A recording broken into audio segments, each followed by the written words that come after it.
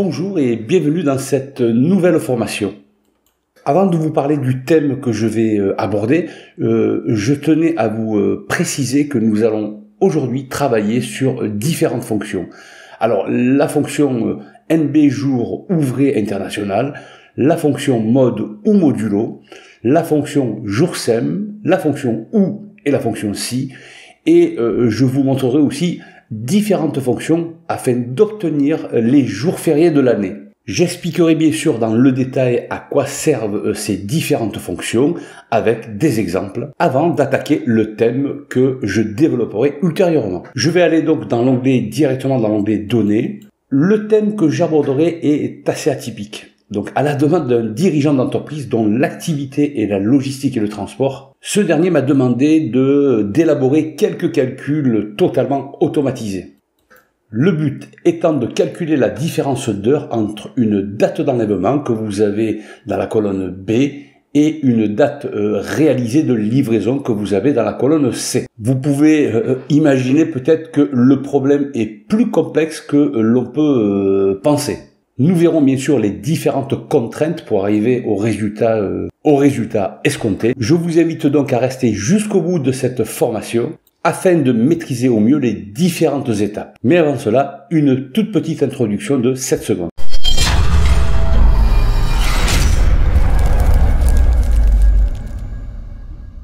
Parlons du contexte. Alors, je l'ai mis dans ce rectangle euh, bleu. Donc je vais un petit peu le déplacer afin que vous puissiez voir au mieux. Alors l'enlèvement du colis, hein, c'est-à-dire les dates qui se trouvent dans la colonne B, l'enlèvement du colis se fait par le transporteur à une heure fixée. Deuxièmement, l'heure de battement de l'enlèvement est au maximum 19 heures. C'est-à-dire que euh, si j'ai une date d'enlèvement aussi bien à 7 heures ou à 11 heures du matin, je devrais considérer que l'abattement, je peux aller jusqu'à 19 heures. Alors, la date de livraison doit au maximum se faire au plus tard le lendemain à 14 heures. Au-delà de 14 heures, je peux avoir des pénalités. Si l'expédition se fait à 14 heures, le transporteur est considéré comme au-delà, pardon, et non pas se fait après 14 heures. Se fait après 14 heures, autant pour moi. Après 14 heures, comme je l'ai expliqué auparavant, le transporteur est considéré comme en retard. Donc, il paiera, il peut payer des pénalités, des astreintes. Alors, lorsque je calcule la différence entre la date d'enlèvement et la date de livraison, je devrais tenir compte des jours fériés et des week-ends. Donc, ces jours fériés et ces week-ends ne peuvent en aucun cas pénaliser le transporteur. Donc, la date d'enlèvement J-1 euh, au maximum à 19h, ok, et la date de livraison J, c'est-à-dire le lendemain, en bien sûr ne tenant pas compte des jours fériés et des week-ends, au maximum, euh, cette date de livraison devra respecter un horaire, à savoir 14 heures. Avant d'élaborer tout ce processus, nous allons bien sûr dans le détail euh, euh, travailler sur les différentes fonctions que je vais utiliser. Donc je l'ai mis dans l'onglet explication fonction et nous allons commencer par expliquer la fonction jour sem. Je vais au préalable retirer tout ce que j'ai fait, voilà. Donc ici, nous avons des dates 9 février 2022, 10 février, etc. jusqu'au 18.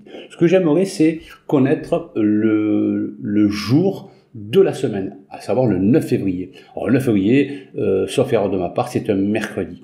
Alors, euh, pour avoir le numéro du jour de la semaine, je vais devoir taper jour SEM, la fonction jour SEM. Numéro de série, je vais devoir sélectionner la date, point virgule, et je vais devoir euh, sélectionner aussi dans type de retour euh, le euh, la semaine. Donc moi, si je travaille bien sûr entre le lundi, enfin si je suis dans une semaine démarrant le lundi jusqu'au dimanche, je vais mettre le code 11. Si je mets le code 11, je fais entrer, et bien là, le jour de la semaine, c'est le troisième jour. Alors pour connaître le, le jour même, je vais utiliser la fonction texte la fonction texte, bien sûr, c'est la date. Et entre guillemets, je vais mettre J, J, J, J, 4 fois J, pour avoir le nom du jour de la semaine. Je fais entrer, entre guillemets, et on me dit que c'est mercredi. Donc bien sûr, ensuite, je fais un copier-coller. Et ici, pourquoi pas aussi un copier-coller. Donc voilà, euh, le quatrième jour de la semaine, c'est un jeudi, etc., etc. Donc cette fonction me permet de connaître euh, le jour de la semaine et si vous souhaitez avoir euh, le texte du jour de la semaine, c'est-à-dire le troisième jour de la semaine, vous vous servirez de la fonction texte. Je vous laisserai bien sûr le fichier dans la description afin que vous puissiez vous entraîner. Concentrons-nous à présent sur la fonction nb.jour.ouvrez alors il y a aussi, euh, point international, il y a aussi une fonction qui s'appelle nb.jour.ouvrez. Que peut me donner cette fonction? Cette fonction me permet de connaître le nombre de jours euh, qui séparent deux dates. Alors euh, nb.jour.ouvrez.international me permet aussi de défalquer les jours fériés et les week-ends. Passons à l'application. Donc si je supprime euh, ce que j'ai fait ici, donc si je tape égal nb.jour alors je vais sélectionner point point international. Si je vérifie l'infobulle, Excel me demande la date de départ. La date de départ, c'est la date la moins récente, donc c'est-à-dire le 4 février 2022. Point virgule. La date de fin, c'est le lundi 7 février. Et si je dois faire abstraction des week-ends et des jours fériés, point virgule, Ici, on me demande les week-ends. Alors, si bien sûr mon week-end est le samedi dimanche, je prendrai le code 1. Si c'est le dimanche et le lundi, je prendrai le code 2, etc., etc. Donc, moi, je vais prendre le code 1. Partons du principe que l'on ne travaille pas le samedi et le dimanche. Et ici, euh, dans le dernier attribut, il me demande les jours fériés. Alors, les jours fériés, je les ai mis dans l'onglet jours fériés. Donc, je vais sélectionner les jours fériés que j'ai mis ici je ferme la fonction je fais entrer et Excel me dit que entre le 4 février et le 7 février 2022, il y a deux jours. Alors, je sais que le 4 février, c'était un vendredi. Euh, entre le vendredi et le lundi 7 février, il y a euh, le week-end. Je n'en tiens pas compte. Donc, en effet, si je ne prends que le 4 février et le 7 février, j'ai bien deux jours. Alors là, bien sûr, j'ai mis des jours fériés, mais entre le 4 et le 7 février, il n'y a pas de jour férié. Si, pas, imaginons que le 6 euh, février ce soit un jour férié, j'aurais eu comme résultat que 1. Pour les jours fériés que j'ai mis dans l'onglet jours fériés, je vous laisserai bien sûr le fichier. Alors ne vous embêtez pas à euh, taper directement les jours fériés de l'année. J'ai ici mis des fonctions, et que j'ai remis ici bien sûr, hein, afin d'avoir automatiquement les jours fériés. Alors bien sûr, si euh, vous passez, hein, regardez comme, euh, comme on peut le voir dans la cellule A1, j'ai mis aussi deux fonctions, année et aujourd'hui. Ce qui veut dire que le 1er janvier 2023, l'année euh, se mettra automatiquement et donc ça impactera les jours fériés pour l'année 2023. Donc je pourrais dire qu'il n'y a plus rien à faire. Hein. Laissez le système Windows euh, faire le travail euh, tout seul. Hein. Les jours fériés s'afficheront automatiquement. Revenons à l'onglet explication fonction afin de vous expliquer à présent la fonction mode. La fonction mode me permet de faire des calculs de division euclidienne ou euh, on appelle ça une division entière. Alors bien sûr, euh, si on se souvient pas des petites mathématiques que nous avions vues euh, depuis plusieurs années, donc pour cela j'ai donné une petite définition. Donc une division euclidienne permet de diviser un nombre qu'on appelle dividende par un autre nombre qu'on appelle diviseur. Le résultat s'appelle le quotient. Le quotient dans une division euclidienne sera un entier inférieur. Nous pouvons affirmer que le dividende sera égal à la division euclidienne plus le reste. Alors il est évident qu'en disant ce type de définition, on a du mal à comprendre. Alors prenons un exemple. Alors exemple, si je divise 7 par 2, hein, que j'ai toujours dans euh, le rectangle bleu. Si je divise 7 par 2, cela me donne 3,5. Alors je retiens je retiens le quotient entier. Je ne prendrai pas 3,5, mais 3. Alors par la suite, si je multiplie ce 3 par 2, hein, c'est-à-dire le diviseur, je trouve 6. Et pour aller à 7, hein, c'est le, dividende, eh bien, le reste sera de 1. Retenons donc cette formule, hein, on appelle ça une égalité euclidienne. Le dividende sera égal au diviseur, dans mon exemple 2, multiplié par le quotient, dans mon exemple c'est 3, le quotient bien sûr inférieur, plus le reste. Donc 7 sera égal à 3 fois 2 plus 1. Donc prenons comme exemple euh, la colonne euh, la colonne L, la colonne 1 et la cellule L4. Donc si je prends égal égale, euh, je, ne, me sers pas du, de la fonction mode, hein. je vais le faire à la main. Donc si je prends 8, qui est le dividende divisé par le diviseur 3, je trouve un quotient de 2,66. Ok? Donc si euh, par rapport à la, euh, à la, fonction, à la définition, je prends ce quotient mais uniquement l'entier inférieur, c'est-à-dire 2. Je prends ce 2 égale 2 que je multiplie par le diviseur, multiplié par 3, cela me donne 6. Donc 6 pour aller à 8, ça va être le reste, je trouverai 2. Donc vous voyez, donc, euh, si je le fais à la main, c'est un petit peu long. Donc par contre, hein, donc, le résultat c'est 2, hein, c'est le reste. Donc si je le fais avec la fonction mode, donc je vais faire égal mode, mode, Excel me demande le, le nombre, donc le nombre c'est le dividende, et le diviseur, c'est 3. Si je ferme la fonction, j'ai comme reste, j'ai bien 2. Donc la fonction mode me permet de ressortir le reste par rapport à un dividende et un diviseur.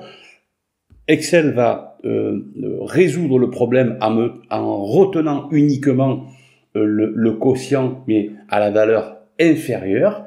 Et à partir de là, il me calculera le reste afin de retrouver le dividende qui, dans mon exemple, est de 8. Donc si je prends la deuxième ligne, donc si je devais le faire à la main, égal, sans la fonction mode, je prends 147, je divise par 10, et je trouve 14,70. Donc ça c'est le quotient. Le quotient, je dois le retenir uniquement la valeur entière inférieure. Donc c'est 14. Donc si je fais 14 multiplié par le diviseur, 10, j'ai 140. Donc pour aller à 147, donc le reste sera de 7. si maintenant je dois le faire avec la fonction mode, donc je tape mode, donc je prends bien sûr le dividende, le diviseur c'est 10, Excel me calcule automatiquement le reste. Le reste, comme on l'a vu tout à l'heure, c'est bien 7. Nous pourrions aussi gérer les heures avec la fonction mode. Donc là, j'ai pris euh, des horaires, hein, donc de 10 heures par exemple à midi. Si je devais le faire sans la fonction mode, je ferais égal, égal date de fin, euh, pardon, heure de fin, excusez-moi, moins heure de début. Donc, en effet, entre 10 heures et midi, j'ai bien 2 heures. Mais je pourrais aussi me servir de la fonction mode. Donc je vais faire égal, égal mode, mode date de fin, moins date de début, point virgule, le diviseur, je vais prendre 1, hein, divisé par 1. Je fais entrer et j'ai toujours 2 heures. Là où ça se complique, c'est plutôt pour les horaires de nuit. Donc là, par exemple, si je souhaite euh, trouver la différence entre 22 heures à J et 4 heures du matin à J plus 1, je devrais en toute ressemblance trouver 6 euh, heures. Donc si je procède sans la fonction mode, je prends donc date de fin, euh, heure de fin moins heure de début, là, il y a un truc qui ne va pas. Excel ne sait pas le calculer. Éventuellement, ce que je vais pouvoir faire, je vais faire plutôt date de début, moins date de fin. Je fais entrer, et là je trouve 18. Reconnaissez que euh, ce résultat est totalement faux. En effet, entre 22h et 4h du matin, je n'ai que 6 heures de, de, différence. Donc, pour résoudre mon problème, je vais utiliser la fonction mode. Donc, égal mode, mode date de fin moins date de début, comme diviseur, je vais prendre bien sûr 1. Et là, mon résultat est correct. Entre 22h et 4h du matin, j'ai bien 6 heures de différence. Nous allons à présent aller dans l'onglet Données afin de résoudre le problème euh, que l'on m'avait soumis avec les différentes contraintes que j'ai bien sûr dans le rectangle bleu. Dans la colonne D, nous allons commencer par calculer la différence entre le nombre d'heures séparant les dates d'enlèvement et les dates de livraison, tout en neutralisant les jours fériés et les week-ends. Commençons par la fonction nb.jour.ouvré, donc nb.jour.ouvré point international, je prends euh, cette fonction, Excel me demande la date de départ, la date de départ étant la date d'enlèvement, donc je sélectionne la cellule, point virgule, date euh, de fait, donc c'est la date de livraison, point virgule. Or, considérons que je ne travaille pas le samedi dimanche, donc je prends comme week-end le samedi et dimanche, donc je vais prendre le code 1. Point virgule, et je vais aussi, comme je veux aussi neutraliser les jours fériés, je vais devoir sélectionner les jours fériés qui se trouvent dans la dans l'onglet jours fériés. Je vais sélectionner cette plage de cellules et je fais entrer. Donc Excel me dit 2. Qu'est-ce que cela veut dire? C'est-à-dire que si je fais la différence entre le 4 et le 5, en effet, il y a deux jours. Bon, entre le 4 et le 5, il n'y a pas de week-end, il n'y a pas de jour férié. Alors, je vais continuer euh, ma formule. Ici, j'aurais dû avoir un jour. En effet, en termes de valeur absolue, la différence entre le 5 janvier et le 4 janvier, j'aurais dû, avoir 1. Donc ici, dans la formule, je vais mettre moins 1. Je fais rentrer. Donc là, bien sûr, il faut euh, changer le, format hein, qui s'est personnalisé. On peut le voir ici. Dans euh, ici, donc je vais mettre standard. Donc là, j'ai bien un jour. Mais moi, ce que je souhaite, c'est avoir des différences d'heures. Je vais donc imbriquer une nouvelle fonction qui est la fonction mode. Donc si je fais moins mode, mode, j'ouvre la parenthèse. Le nom, c'est la date d'enlèvement, avec son horaire bien sûr. Le diviseur, c'est E. Je ferme la, fonction mode, plus, toujours mode, et ici je prends la date de livraison. Pareil, le diviseur sera égal à E. Si je fais entrer, Excel me dit que entre le 4 janvier 11h23 et le 5 janvier 11h18, il y a 23 heures. Je vais bien sûr changer le, euh, le format. Donc ici, je vais déjà faire un copier-coller pour les autres cellules. Et là, je vais aller dans autre format numérique, ici personnaliser et choisir le format adapté. Donc c'est un H en tracolade deux petits points MM, deux petits points SS. Les secondes, je n'en ai pas besoin, donc je vais les supprimer. Si bien sûr vous n'avez pas ce format, il suffit de vous mettre dans n'importe quel autre format et taper directement le format, euh, je crois qu'il n'existe pas par défaut. Donc vous faites accolade petit h, fermez l'accolade, deux petits points MM pour avoir les minutes.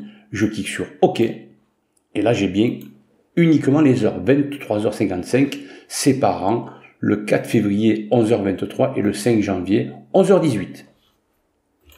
Je dois à présent tenir compte d'une contrainte concernant la date d'enlèvement. La date d'enlèvement, nous avons une marge qui peut aller, si vous voulez, jusqu'à 19h. Donc le point de départ, euh, pour quelques jours que ce soit, doit démarrer à partir de 19h.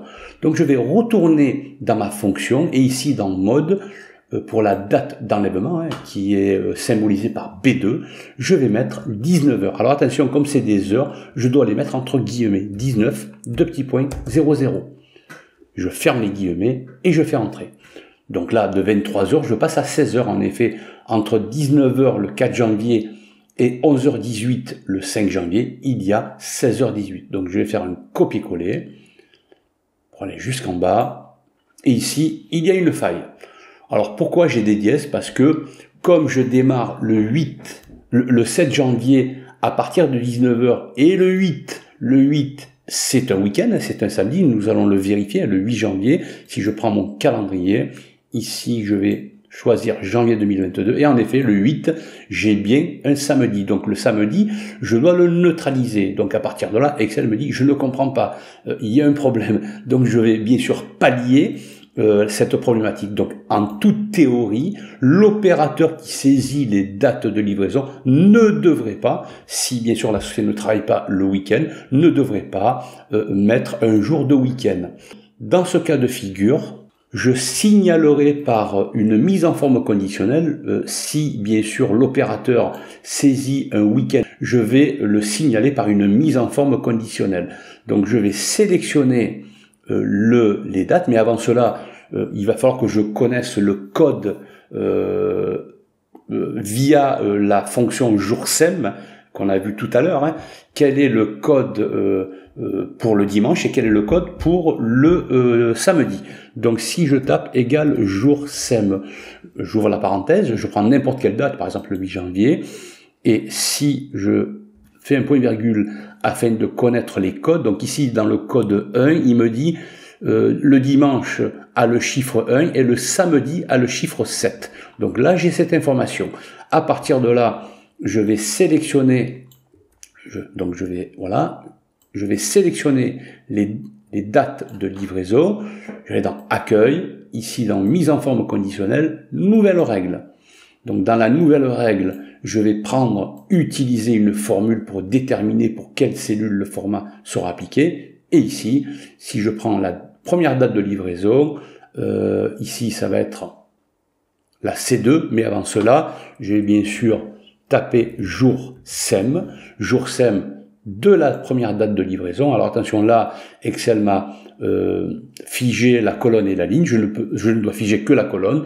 Donc F4 une fois, deux fois, euh, là je n'ai que la colonne de sélectionner, égale, pardon, je ferme la fonction jour SEM, si c'est égal à 1, mais j'ai aussi euh, 1 c'est le, code du dimanche, mais j'ai aussi le samedi, code 7. Donc je vais mettre ici avant jour sem la fonction ou. Ou bien si tu trouves euh, le euh, code 1 pour jour sem de la date de livraison, ou bien jour sem toujours de la même cellule. Donc attention là, je vais devoir défiger la ligne.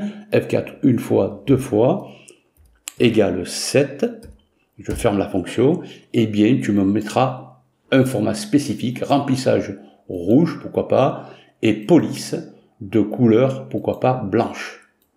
Je fais OK, de nouveau OK. Donc à partir de là, je sais que si l'opérateur saisit par inadvertance un jour de week-end ou un jour férié, à partir de là, euh, Excel l'avertira par une mise en forme conditionnelle. Afin d'enlever ces dièses et afin aussi euh, d'avertir euh, que à l'opérateur de changer de date de livraison, je vais revenir dans la première cellule et je vais imbriquer cette fonction avec la fonction si.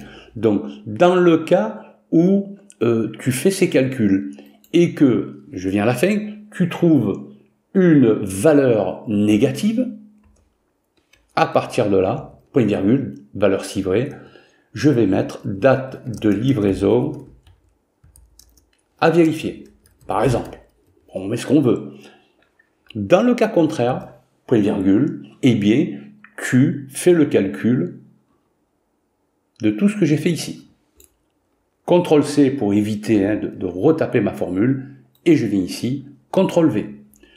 Euh, je sais pas, je crois qu'il faut fermer encore une, fois. Si je fais entrer, voilà, donc là apparemment c'est bon. Si je fais un copier-coller, tout fonctionne. Donc bien sûr, nous avons vu que le 8 janvier, c'était un week-end. En principe, il ne devrait pas euh, saisir le 8 janvier, hein, l'opérateur, bien sûr, je parle de l'opérateur, euh, ni bien sûr le 9 janvier étant un dimanche.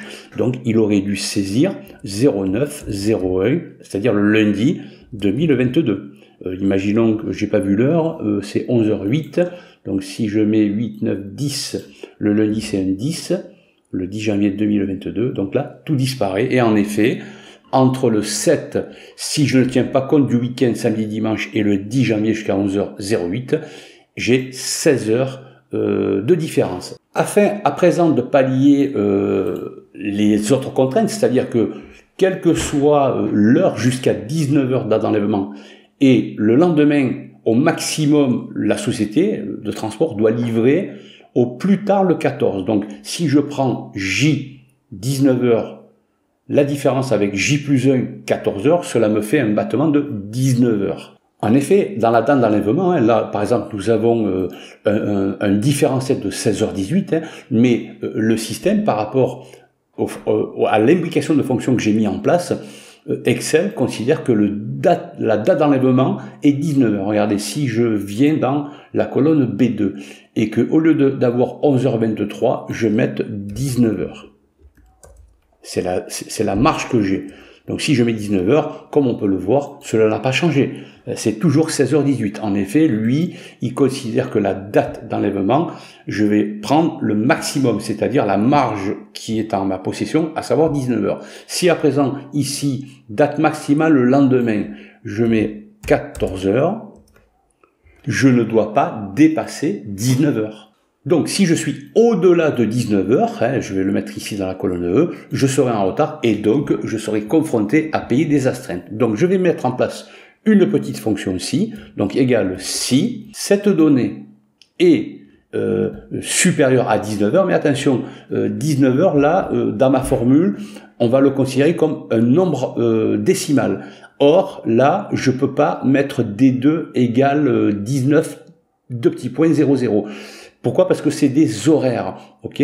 Donc je vais pour cela transformer ces horaires en nombre décimal. Alors, de façon, soit je le multiplie par 24, soit je le divise par, entre guillemets, 1, deux petits points, 0, 0. Et je ferme les guillemets. Donc là, j'ai euh, converti mon horaire en nombre décimal. Donc si c'est le cas, hein, euh, si c'est supérieur à 19 heures, alors je suis en retard. Donc je mets en retard entre guillemets. Dans le cas contraire, tu me mets une cellule vide et je fais entrer. Donc là, pourquoi il m'a mis 19 heures? Parce que dans l'absolu, hein, pourtant je n'ai pas dépassé 19 heures, dans l'absolu, euh, si je convertis 19 heures en nombre décimal, j'ai des chiffres après la virgule. Donc dans ma formule, je vais devoir mettre, euh, euh, comment dirais-je, je vais mettre virgule 001. C'est pas ça le plus important. Mais il faut que ce soit pas égal strictement à 19. Donc je fais entrer, et là bien sûr, il n'est plus en retard. Je vais faire un copier-coller de ce que j'ai fait dans cette cellule, c'est-à-dire la cellule E2. Donc copier-coller pour toutes les autres cellules. Et ici, bien sûr, il me met valeur. Donc là, apparemment, j'ai quelques retards. Hein. En effet, je dépasse considérablement le battement des 19 heures entre J et J plus 1. Mais là, je ne souhaite pas avoir euh, ce message d'erreur. Donc je vais revenir ici. Hein. Pourquoi? Parce que euh, ça a une incidence dans la mesure où l'opérateur, si vous voulez, a mis un jour de week-end. Donc je ne peux avoir qu'une valeur négative euh, dans la colonne D. À partir de là, je vais revenir et je vais imbriquer la fonction si avec la fonction si erreur. Donc dans le cas où euh, tu fais tout ce travail et que tu trouves une erreur, point virgule, je vais remettre éventuellement date de livraison, entre guillemets bien sûr, erronée. Erronée. Je ferme les guillemets. Je fais entrer et je vais faire un copier-coller. Voilà, donc là, donc je vais un petit peu élargir. Donc ça fait tout de même un petit peu plus propre. Le but de cette vidéo était réellement euh, de vous sensibiliser sur la neutralisation de certaines fonctions. Ne faites en aucun cas, n'élaborez en aucun cas, c'est le conseil que je donne moi systématiquement, une fonction sans euh, pour cela euh, la comprendre. Plus vous connaîtrez de fonctions, plus vous maîtriserez de fonctions, plus vous serez à même à résoudre euh, beaucoup de problèmes avec Excel. J'espère que cette formation euh, vous aura plu. Hein. Quant à moi, je vous donne rendez-vous dans un prochain tutoriel. N'hésitez pas à vous abonner et à cliquer sur la petite cloche afin de recevoir les dernières notifications. Je vous remercie. Je vous dis à bientôt.